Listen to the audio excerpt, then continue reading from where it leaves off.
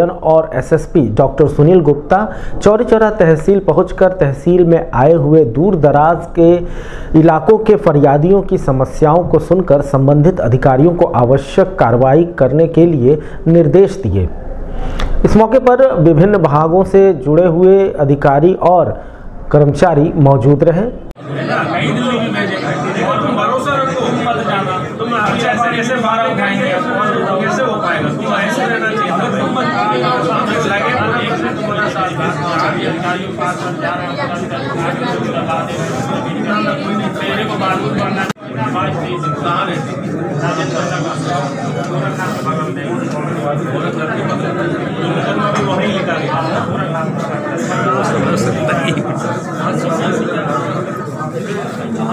तो फिर भोजन जब कैसे हो रही थी कितने लोग रहते थे उनके साथ टीम और वो भी क्लासमेट बाबा इनका बाबा उन लोग कुछ बता नहीं पा रहे क्या दो बजे के बाद आप इधर आ बाकी बाकी हो गया। फ़ोन भी नहीं पैसा नहीं आपके पास उसके साथ दोनों सहयोग से अपने आवाज़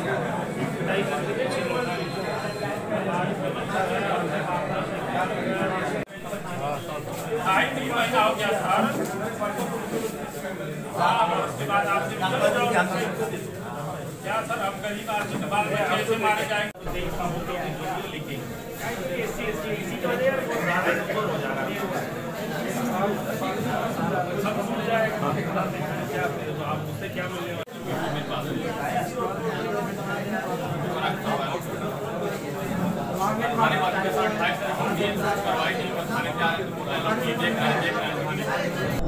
मीडिया कर्मियों से बात करते हुए वरिष्ठ पुलिस अधीक्षक सुनील कुमार गुप्ता ने बताया।